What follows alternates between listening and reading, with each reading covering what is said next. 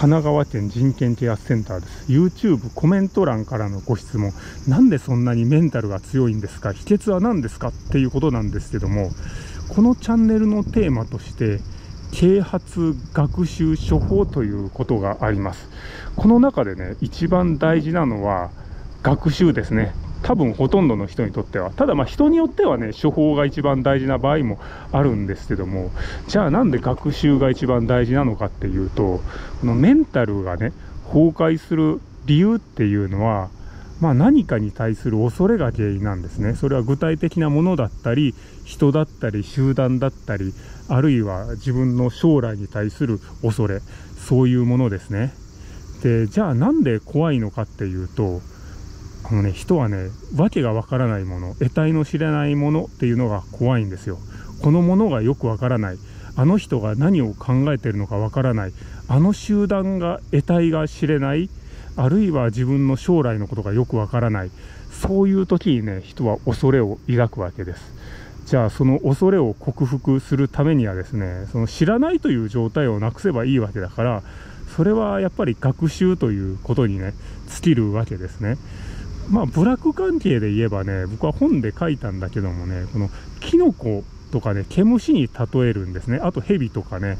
皆さん、その辺に生えてるキノコをね、取って食べられますかと。あるいは、その毛虫触れますかあとヘビ触れますかっていうことになると、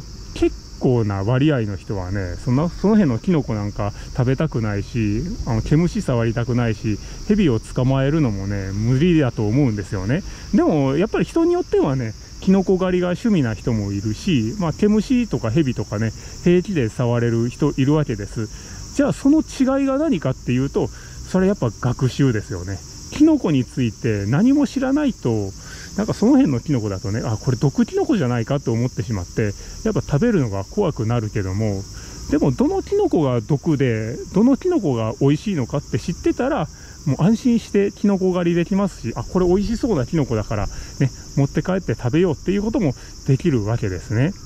で、毛虫にしてもですね、その毛虫が全部ね、刺すわけじゃないんですよね。で、刺す毛虫って言ったら、例えば、あれだ、マツケムシとかね、あとは、あの、毒ガの幼虫なんかは刺すんだけども、あの、マイマイガっていう、あの、ニャッキみたいな目のある毛虫、あれって毒々しい見た目してるけど、実は刺さないんですよね。だから、あの、分かってる人は平気で触れるんですよね。で、ヘビにしてもね、まあ、シマヘビとか、青大将は別にね、触ってもなんともないんで、ただ、あの、ヤマカガシとかけ、あの、マムシは危ないですよね。うん、でも、青大将とか、ね、シマヘビだったら、まあ、刺され、あ、噛まれたら痛いけどね、でも、それだけなんで、まあ別に捕まえても大丈夫ですよっていうことになるわけです。そこでもやっぱりね、どの蛇が危ないのか、どの毛虫が刺すのかっていうね、その知識ですね、それを学習してるかどうかっていうことが大事になるわけです。だから、まあ例えばね、その団体とか人についても、まあ、この団体はどういう団体なのかっていうことをね、ちゃんとね、学習すれば怖くないわけです。あるいはその将来の不安とかについても、例えばね、やっぱりお金の問題で悩む人多いですよね。もうその残念なことにね、そんな大した金額でもないお金で悩んで、えー、死んでしまうっていう人もいるわけだけどもやっぱそういう人にとってはそのお金を稼ぐ手段とか金融の知識というものがその必要だったんじゃないかと思います。そういうお金についての知識を持ってたらお金のことで悩むことはないわけです。いざとなればね破産っていうこともできるわけだし。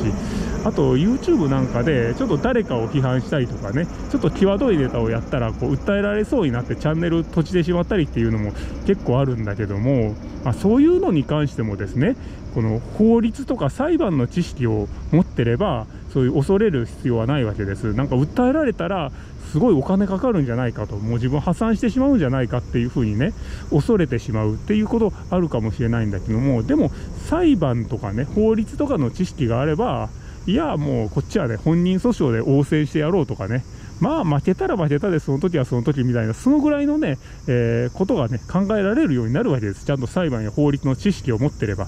だから皆さんね、何か怖いとかね、この不安とかね、あとはメンタル崩壊しそうな、まあそういうことがあったら、